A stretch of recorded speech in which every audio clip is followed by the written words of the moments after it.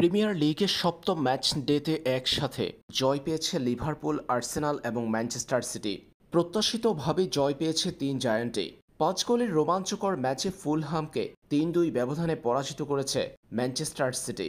Etihad স্টেডিয়ামে এদিন ফুলহামের বিপক্ষে ম্যাচের শুরুতেই পিছিয়ে পড়েছিল স্বাগতিক ম্যান সিটি। এরপর কভোচিসের গোলের সমতা নিয়ে মাঠ ছাড়ে তারা। দ্বিতীয়ার্ধে সাতচল্লিশতম মিনিটে নিজের দ্বিতীয় গোলটি করেছেন কভোচিচ পরে বিরাশিতম মিনিটে ডুকুর গোলে তিন এক ব্যবধানে জয়ের ক্ষণ গোল ছিল ম্যান সিটি। কিন্তু শেষ মুহূর্তে আটাশিতম মিনিটে গোল হজম করেছে তারা। তবে তাতে জয় পেতে কষ্ট হয়নি সিটি। দিনের অপর ম্যাচে আর্সেনাল পরাজিত করেছে সাউদাম্পটনকে।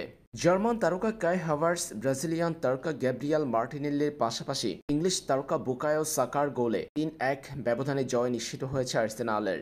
এই ম্যাচেও শুরুতে পিছিয়ে পড়েছিল আর্সেনাল, এরপর দ্বিতীয়ার্ধে একে একে আটান্ন থেকে আটাশি, এই ত্রিশ মিনিটে তিন গোলের দেখা পেয়েছে আর্সেনাল, তাতেই তিন এক গোলে জয় নিশ্চিত হয়েছে তাদের। এদিকে ক্রিস্টাল প্যালেসকে এক শূন্য গোলে হারিয়েছে লিভারপুল। ম্যাচের নবম মিনিটে দিয়াগো জোতার গোলে এগিয়ে গিয়েছিল এনফিল্ডের দলটি। বাকি সময়ে আর কোনো গোল করতে না পারলে নবম মিনিটের সেই গোলেই জয় নিশ্চিত হয় লিভারপুলের।